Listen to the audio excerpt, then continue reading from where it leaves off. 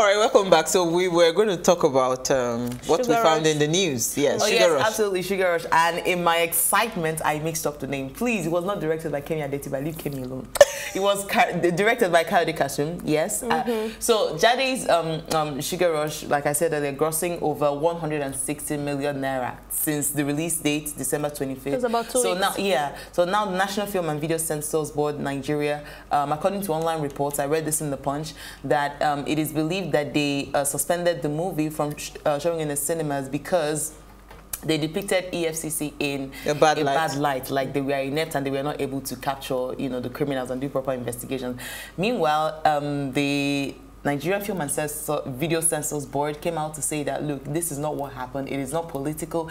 It's just that the movie didn't go through proper approval before being released. So they got a temporary approval while awaiting the permanent approval to go to the cinemas. They released it. How will you release a movie without getting proper approval? Are we fools? So you- Excuse you- my do you- French. You think it's political? Yes, because I've seen the movie and I saw like the role that the EFCC portrayed. You know, but, but, but they didn't lie. I mean, yeah, but, but I can't really. You know, but I think Nigerians, uh, I have always said this, I'll keep saying it, I'll keep saying it until we, they get it. You must be open to see your reality. exactly. Do you understand? Do we have corrupt officials currently in the EFCC We today? do. The answer, what's the answer? We do. Do we, We have do. good ones? do we have great ones that are doing amazing that are not they can't be corrupted? Yes, we do. So when a movie is done, you know, you don't you don't say because Mm-hmm. Do we it's not have freedom of speech?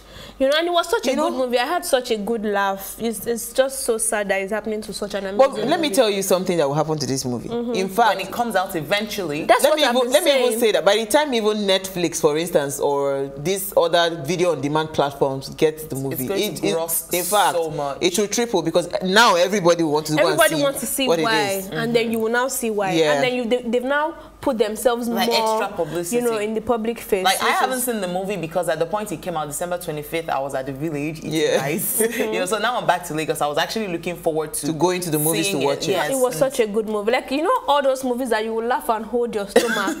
That's how interesting it is. So I mean, come on, when you have really- Bimbo Ademoye and You have Bisola and Adesua, uh, uh, together. It's not possible that it will not be nice. crazy. it was All an right, amazing so movie. Marion, what did you find for us? So I don't know if I'm always I'm the one always carrying bad news or there's never good news in the news. But a woman was arrested for burning a nine-year-old child with iron for bedwetting, and it wasn't even that she tried to treat the wound, right?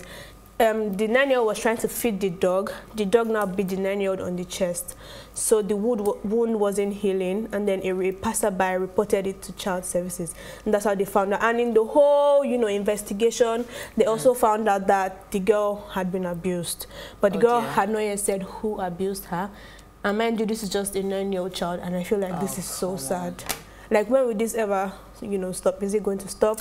What's being You, put you in know why? place to control You this? know why it's very easy for me to relate with this story because I was bedwetting up until 13, and I, I think that you can't really hold children responsible for bedwetting. You can help them to get over it, but you don't punish them because there is no amount of beating I did not receive, mm-hmm. and I still In didn't stop it until I woke up In one I day. think I will keep apologizing to my son every day. Mm. My youngest son actually bedwetted. He was bedwetting till up until maybe age eight or mm. something. Somebody now advised me hmm. that you need to spank him when he ah. bedwets. You spank. At some point, I had to borrow myself brain because I kept spanking. The spanking wasn't working. I was even reading it on the didn't work for internet that bedwetting is not the child's fault. So you literally. So what I now did, guess child. what I now did? Mm-hmm. I made sure that he stopped at 7 p.m. We stopped anything liquid, no mm-hmm. water, no nothing. Mm-hmm. So that was how he was able to control, you know, his bowels and all of that. Because in, in fact, you can't go a certain distance, even driving. He'll tell you, "Mommy, I want to to pee. pee. Mommy, I want to pee." Yeah. You know. So my husband and I, when we went to drop them in school, my husband said, "It's so it's so strange that uh, we drove four hours, you know, no pee, no nothing." So. I mean, please, parents out there, in case you were you are naive like I was, Please don't, don't. Beating Like- does not solve bedwetting It situation. does. The beatings I received in my life for bedwetting, my Wow. goodness. It, I, it did, I, I just woke up one day and I told myself, Sandra, you have to do something. So I started, I made a mental note to always wake up every two hours, use the restroom, and after a while it became a habit. So by as I was clocking 14, I stopped bedwetting. Wow. Wow. I, well, my own story is rather very, very heartbreaking as well. Mm. And in fact, the reason we chose this story was because of what we're talking about today. Mm -hmm. You know, because I just, I don't know, for some strange reason, I feel like maybe the pressure Hmm. Because um, Princess Motunrayo Bolua Femi, mm. she said, Bolu Femi, she said um, she committed suicide. She's an NYSC corps member, member mm. serving it somewhere in the East. She committed suicide. And, you know, she, what struck me in this um, report that I saw was that she wrote a, a, a suicide note, of course, and she said, there was a part, portion that she said, I did this because I see nothing I see nothing worth living for in this world.